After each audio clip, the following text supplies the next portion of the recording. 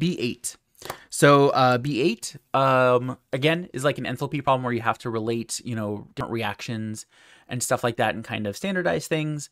Um, and then in this case, right, it kind of you know has this like hypothetical, um, you know, solution to to bringing fresh water to Southern California because they're like in dire need of it because they've been in drought conditions for years. I, I want to say probably over maybe over a decade now. I feel like for a very long time, Southern California has been in need of water. I think even like it's it's seeping over into Northern California now. That's why you know global warming, right? Things going crazy. Anyways, one of the ideas, right, that totally off the wall and it's a terrible idea. Um, but right, but you know, if you want to get fresh water, right, you just melt icebergs, right? There's so many of them in Antarctica, even though like they're very quickly disappearing now. Um, right, but you could do that, right, and you can melt it, and you can do all that, right? And then so the question becomes, you know, how much energy do you actually need to put in to melt, uh, you know, an iceberg, right? And so you know, you can do the the general thermodynamic considerations for it, right, and calculate how much uh, heat, right, you're going to be uh, needing to to put into that system to to melt you know that much ice. And so we have the reaction right which is just simply the melting reaction where you're going from h2o solid to h2o liquid right? A simple phase change. Um, right and so the the amount of energy required um, to to do that right for that melting process is 6.01 kilojoules per mole. Um, and so um, you know if we take the the value that we have right here, right? For for an iceberg, right, it has about a mass of one times 10 to the six metric tons. So the first thing we want to do is we want to convert metric tons into grams, right? Because the delta H of melting is in moles. And so we want to be able to convert that, right, into something that we can use, right? Something that we're familiar with. So uh, step one, right, convert um, the mass in, of metric tons into into grams, and so we know that in that right from from what I'm given in the problem, you know, 1.00 times 10 to the six, you know, metric tons, um, is equal to right 1,000 kilograms, right, and so that's you know what one metric ton is worth, and then we also know right that one kilogram is 1,000 grams. in these cases, right? So metric tons cancel, right? Kilograms cancel. So what we end up with is 1 to the power of 6 times 1,000 times 1,000. And so what we get is that in grams, right, one um, large iceberg is 1 times 10 to the 12 grams, right? And that's a trillion. That's a trillion grams. Um, it's a lot of grams. Um, right? So we have that right there, right? So now we know what it is in grams, and so now the question is, okay, well, um, how many moles, right, of of water, you know, is is one trillion grams, right? So we have H2O, right, and so we have one times 10 to the 12 grams divided by, right, what is it, 16 plus 1.01 times 2 is 18.02 grams per mole, right? That's the molecular weight of water. So what we get is 1 times 10 to the 12 divided by 18.02. We have 5.55 times 10 to the 10 moles of H2O that we're working with here, right? And so what we're looking at essentially is, right, Q in this case, right, is going to be equal to um, the number of moles times the delta H of melting. Right? So we have 5.55 times 10 to the 10 moles times 6.01 kilojoules per mole. Right? So moles cancel. We end up only with kilojoules. So we have 5.55 times 10 to the 10 times 6.01 comes out to being you need 3.34 times 10 to the 11 kilojoules of energy to melt all of that ice. Right? And that's what I have in the answer key. Um, right? So that's a lot of energy. Um, that's my dogs. For a second, I thought it was my. So I don't know if you guys can hear but for a second I thought like it was my baby crying, but then I was like, wait a second, no, he's at daycare. Um, oh man, crazy. All right. Anyways, so um, and so the next part of this problem, right, is one of the ones where I again messed up with the versioning and I'd had the wrong answer down there, but we'll fix that. Talking about it here, but I'll also have it fixed in the answer key that I'm going to post. Um, but anyways, so um, right. So now the question is, right. So um, you know, you can you know how much TNT right um, can you use to melt that ice right? If you were to just like you know use a huge amount of explosives right you know can you release enough energy? Like how, how much how much explosives do you have to use to um you know essentially decimate um you know a moderately large iceberg right that has a trillion like that weighs a trillion grams? Um and everything. And so um, that's something that we can calculate, right? Because we know what the amount of energy that you know the delta H of detonation of um, TNT is um, in those cases, which we have right there. And then the second part of the question, right, is then you know if you were to use a single like you know modern day thermonuclear warhead, right? How like would that provide enough energy, right? Uh, instead of just using TNT, right? We can just you know nuke um, a, a, a moderately large iceberg. Um, and so, right. And so, so we can look and we again, we can do all of that math and figure out what's going on there. So in terms of how to approach this problem, right? So we know how much energy, right? We know what Q is. We know how much energy is required. So now the question is how much, you know, uh, um, how many gram or how many kilograms, right, of TNT would we need to use, right, to provide that amount of energy, right? And so, um, first things first, right? If we look at that equation that we have, right, the delta H of that reaction, we can see that based off of you know how that reaction is balanced, right? That for every two moles of TNT, right, that that we detonate, we generate you know one thousand thirty-five point eight kilojoules of energy, right? That's how much energy is released in that case.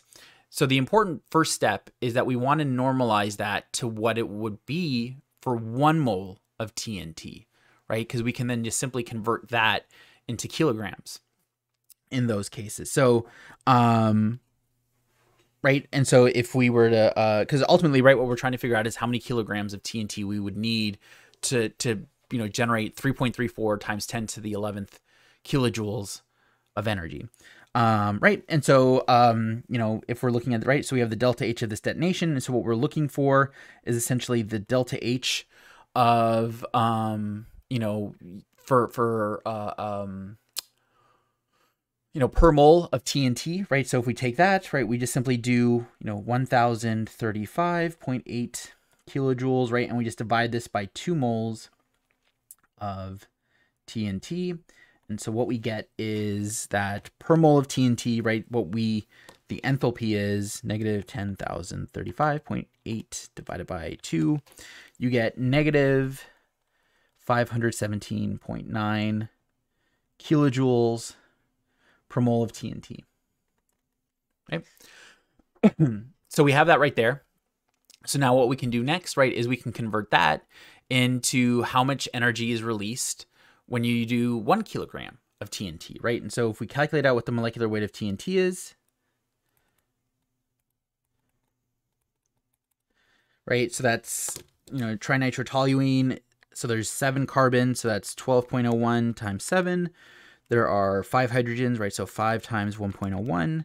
Three nitrogens, so three times 14.01 plus six oxygen, so plus six times 16. And so the molecular weight is 227.15 grams per mole, right? So we have all of that right there. And so now what we can do, excuse me, is uh, convert then, right, the delta H that we have over, does the TNT have 500 or 300? I think there are two different numbers given in the question in the balanced equation. Um.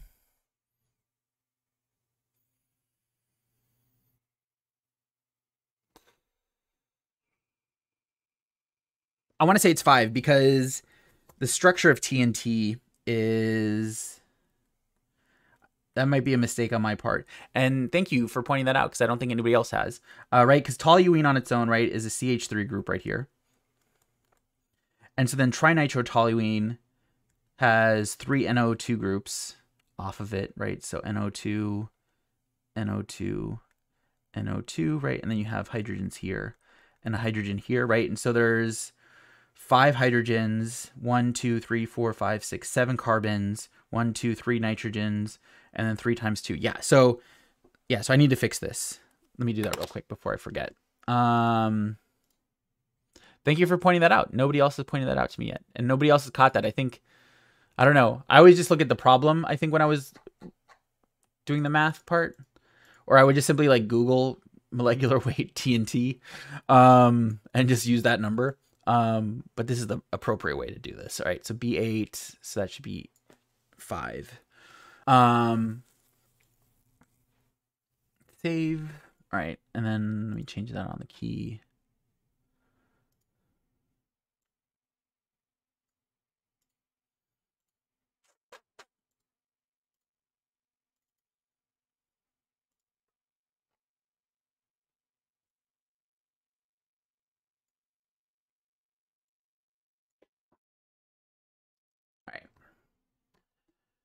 That's saved.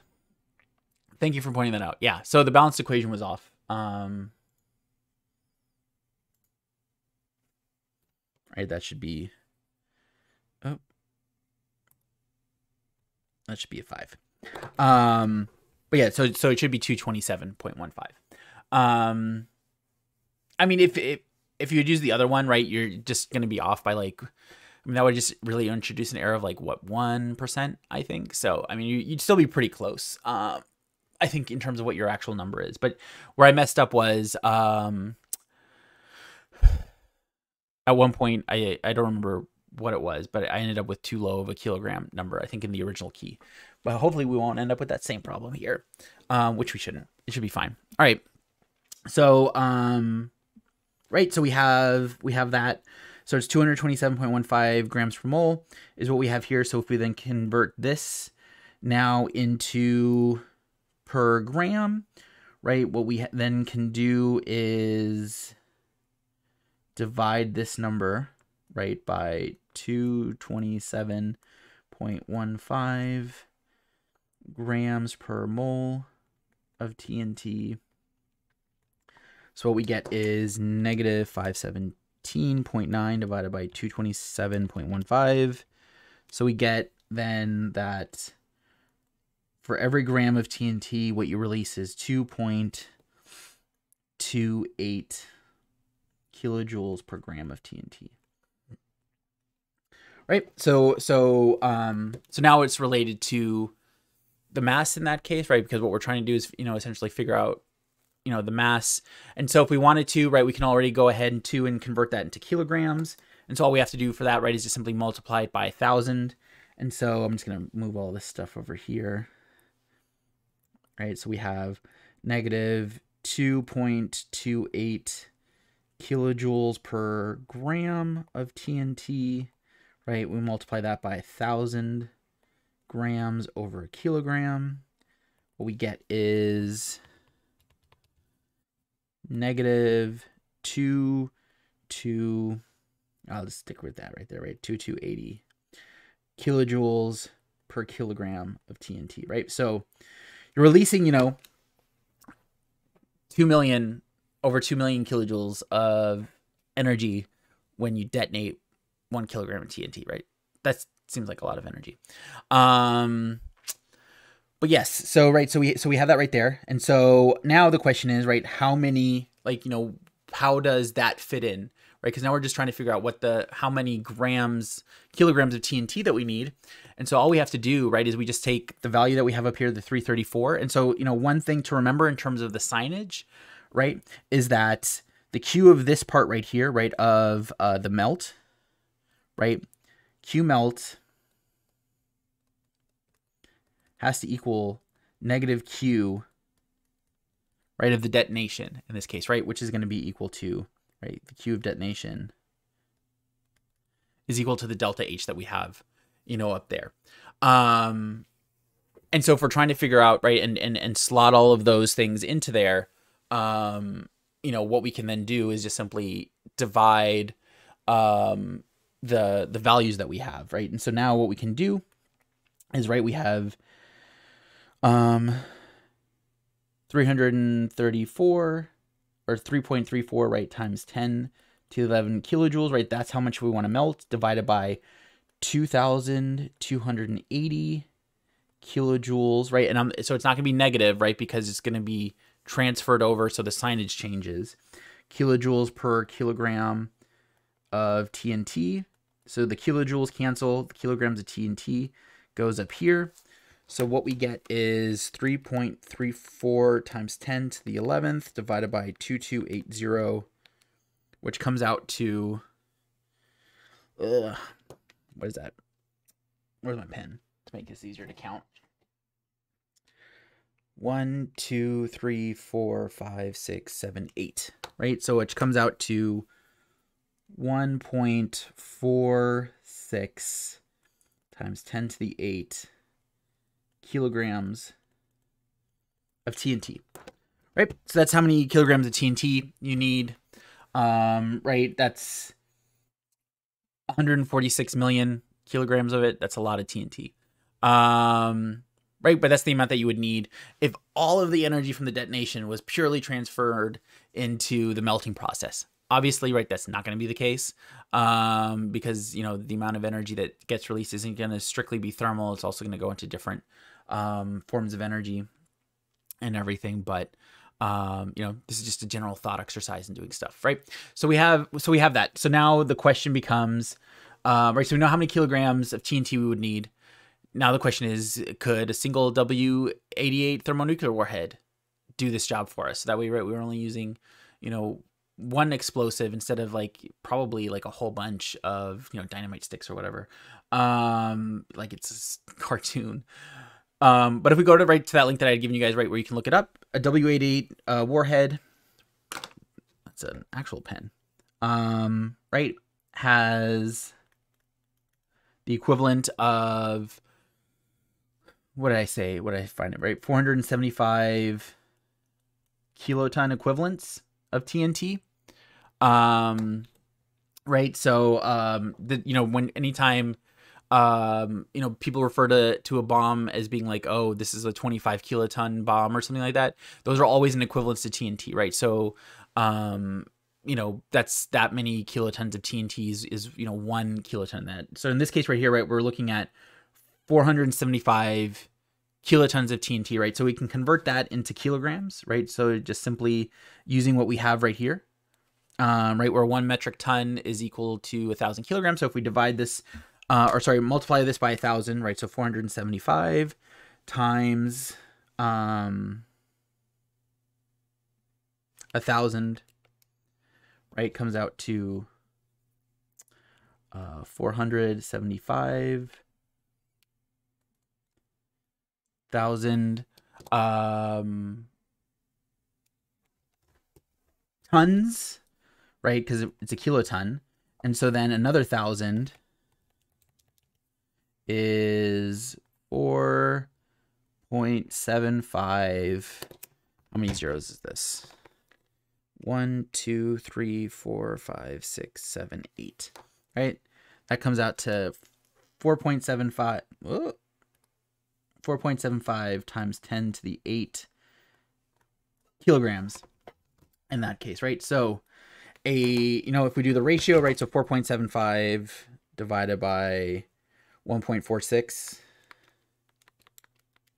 right, comes out to like 3.3. So uh, a W88 thermonuclear warhead would have over three times the amount of energy, right, uh, required to, to to melt it. So that's a lot of energy, and that's the thing to think about too, right? When you're uh, thinking about you know nuclear warheads, um, is that they release a lot of energy uh, when they explode, um, and that's why you shouldn't you know use them lightly and and stuff. Um, you know, yeah, crazy stuff. But yeah, so that's how you do the math on all of that stuff and and get a sense. Um, cool. All right, last